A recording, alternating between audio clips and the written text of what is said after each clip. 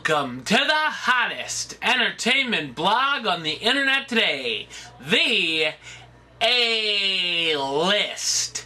I am your host, the game changer, Wes Troop. Hey peeps, did you hear who got married this past week?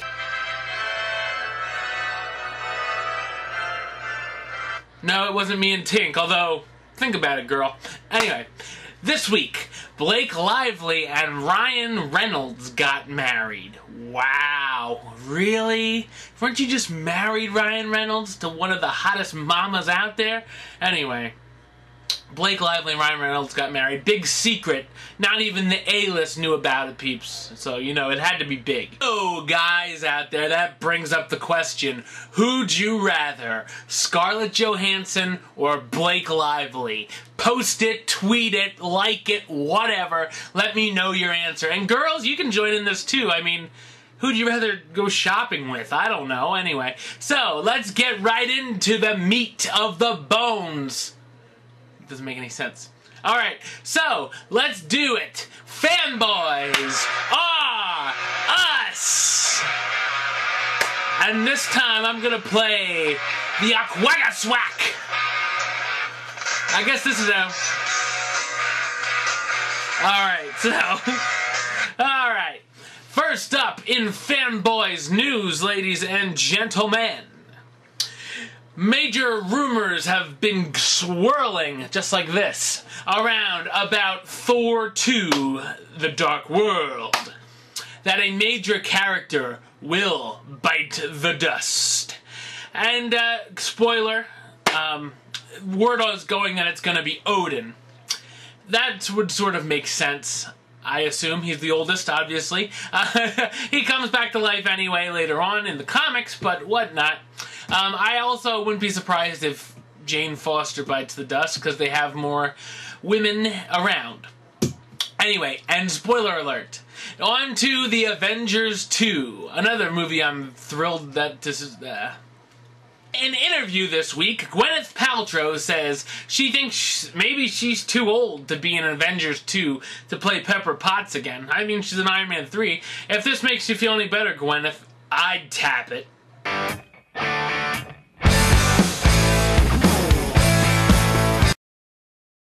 A big star is reported to be returning for Pirates of the Caribbean 5. Will Turner, or Orlando Bloom, obviously, who plays him, uh, might be returning. I thought you said big star.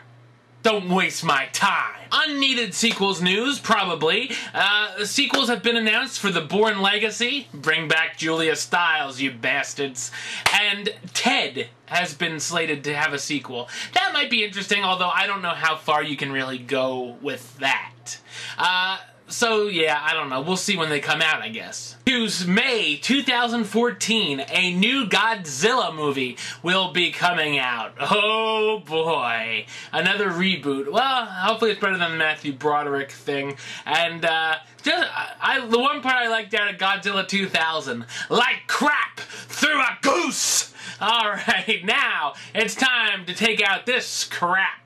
It's time for me to make my box office prediction. The B-O! P! Yeah, rush that for nothing. Anyway. Last week, I said that the number one movie would be The Possession. And it was. Making me... Boo-boo! Yeah. Little sound effects tonight. Little golf clap. So, the streak continues, but of course, and I say this week that the number one movie, what do you got? You got Finding Nemo 3D coming out, re-released. Check for my review on that one with my special guest, by the way. And of course, Resident Evil Retribution. Hoping to have that review up on Monday. I think Resident Evil Retribution will do it and be the number one movie at the box office. Brings us to this week's Babe of the Week. Oh yeah, how you doing? Alright, so, this week I'm gonna give it to one of the ladies from Resident Evil Retribution. Oh yeah, the best nips around, ladies and gentlemen, Milla Jovovich.